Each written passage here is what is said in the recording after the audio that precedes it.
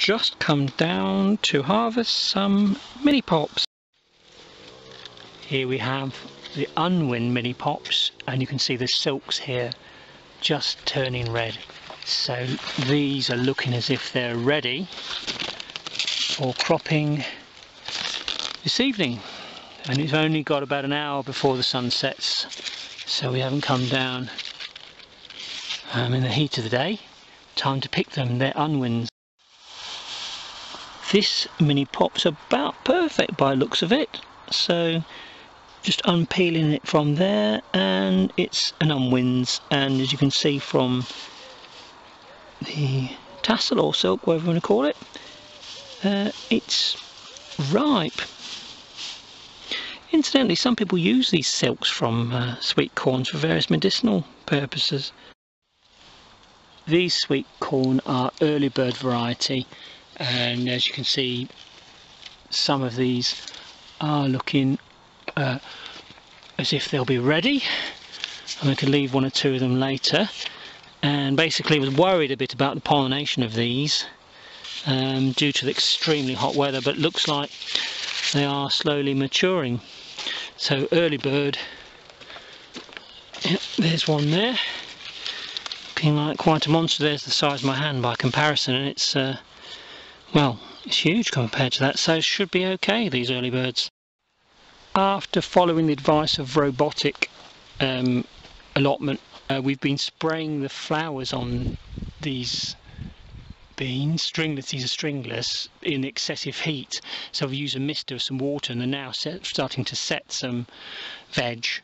Um, so I don't know that they are as uh, stringless as I thought, because it's the first time I've grown this variety. But Oh, there's a bit of a monster. Didn't realise that's all one, isn't it? There you go. So a little bit more success now. We've had about four or five of these beetroot cylindras and I'm trying to catch them this year before they go into sort of gigantic phase um, because I think they're more flavoursome when they're a bit more bijou. We've also popped down to pick yet another cabbage and these were from, from the competition and that one there as you can see it's forming a nice head up crown there so uh, I've got to pick one. The ones we've had earlier I think have been the Savoy and there's a variety here. It was a variety pack for a couple of quid from Morrison's. Um, all bar one, they've done very well. We felt sorry for Runty cabbage today so I thought I'd back off, leave Runty to grow up to be a big cabbage. You know, it's a bit like the chap who gets sand kicked in his face, doesn't it, on the beach. So we'll let him tough it up in the gym and then one day he can aspire to being just like number 10 but number 10's time is up now as you can see it's developed quite nicely um, inside oh that's looking lovely. So of course the outer leaves are sacrificed aren't they? Uh, and uh, take that one home. Off we go. Well, here's number 10 in all its glory with a lovely heart there. So if you pick number 10 on the cabbage failure, you obviously put a good luck onto it because it's turned out to be a nice, lovely, lovely cabbage. And we've been having it this week actually with mash, carrots and mash and nice sausages, Cumberland sausages, my favourite. But cabbage and mash, oh you can't beat it, can you?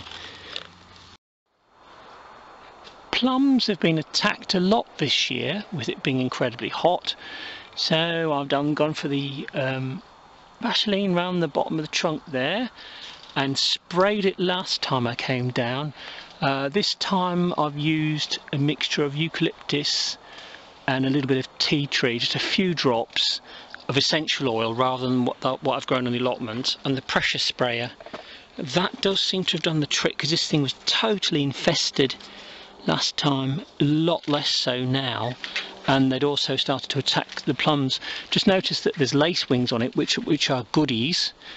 Uh, they fight good fight and also some ladybirds. A uh, few ants but you know you can't hey ho you can't have a crop without a bit of uh, you know an adventure can you? Because you're trying to do something which is sort of you know for you rather than just for nature. But yes yeah, done well. Ripening away. It's nice to have just even a you know a little bunch of apples on a fairly new dwarf fruit stock. This one's only been on this plot for a, a few years. Um, and it's not about how much you get. It's like do you know just nice to have a little crop because some of the others have lots. I'm sure this one will be incredibly tasty. Shan't be long before these bramleys are ready.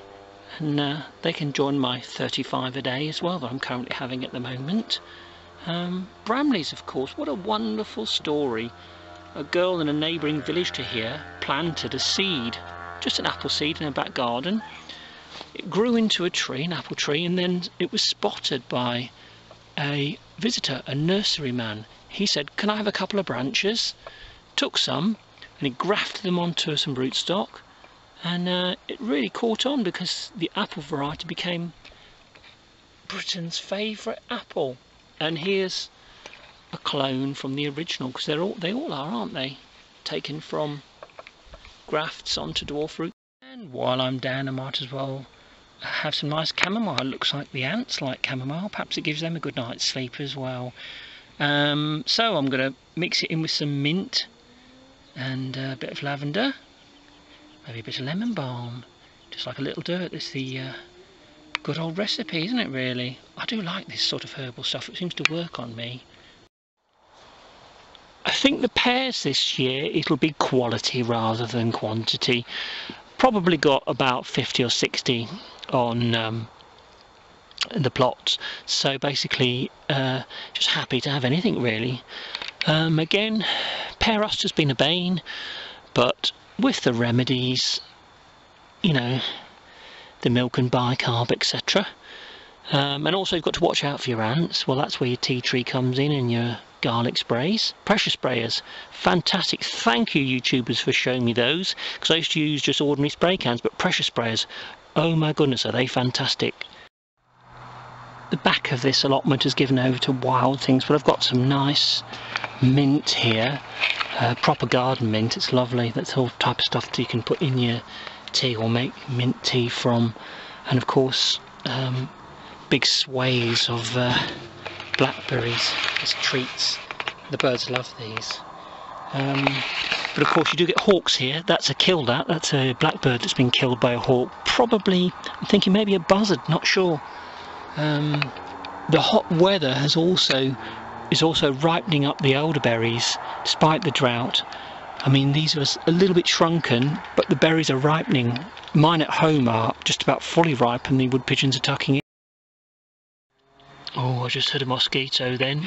Luckily, I've got the incognito. I do recommend incognito for for you people on your um, allotments, etc. Uh, the reason I mention this is I've had a few bits of rhubarb now, and I know it's late, it's early August, but some of these, a few, I don't I only take one or two off each one if I want one. So last time I came down, I only had, only took uh, three or four stalks, but I found that they're still tender. So they weren't um, stringy, they were really nice. Basically just, um, you know, simmer them up, boil them up, a bit of brown sugar, and away you go with some nice Cornish ice cream. Mmm, Cornish ice cream. And of course, you've got to take some of your own blackberries from your plot, uh, mixed with, and that, your rhubarb and some Cornish ice cream. Brilliant, all part of your 35 a day, as I said. Of course, if you are gardening, you can't resist the blackberries, can you? I mean, you've got to have one as you're down here, don't you? On the hoof, they are the best, aren't they, blackberries? Of course, the blackbirds love them as well and wood pigeons, they'll help themselves. But you've got to watch out for hawks, as I've shown you earlier. Well, as the uh, mosquitoes start buzzing around, as you can see, there's the trusty incognito there. It's what we're using at the moment, incognito anti-mosquito repellent. 100% natural, they say. Right, uh, there's the haul for today's shenanigans. Um, uh, spring onions, bit of rhubarb, beetroot cylindra, the cabbage, I mentioned that already, uh, mini pops, there they are, you can see what their tassels on them, and some sweet corn from the other side. So that should keep us busy. Um, apples aren't ready yet, obviously. Um, soft fruits, long gone, except for the blackberries. And uh, the best ones we've got are the ones right at the back there.